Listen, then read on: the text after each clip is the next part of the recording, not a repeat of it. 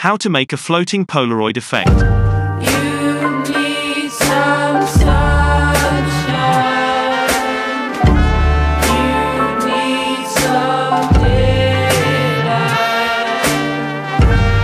Select your clip, make it a new Fusion clip, and go to the Fusion page.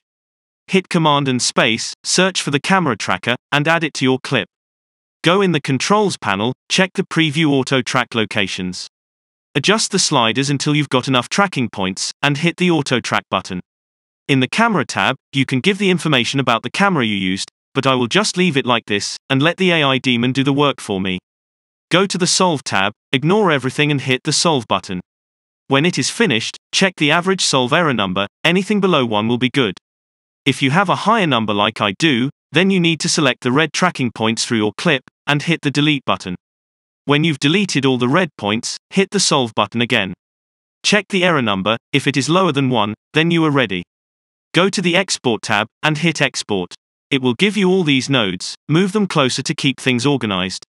You don't need the camera tracker anymore, delete it and disconnect your clip, take the tracker render node and connect this one back. Select the 3D merge node and add it to the preview window. Now you have a 3D tracking points with the camera movement. Import your Polaroid photo in the workspace, add an image plane 3D node, and connect it to the Merge 3D node. Go to the Transform tab, and move your image in 3D space.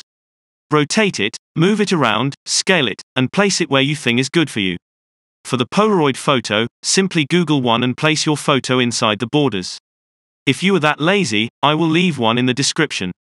Do the same thing for every photo you have, and connect it to the same Merge 3D node. You will end up like this. One thing I forgot to mention, is that you have to select the ground plane node, and under the Visibility tab, uncheck the visible box. You can now go back to the edit page. I've just added a zoom in transition and made a simple grading. If you like this video, then you have a great taste. Thanks for watching.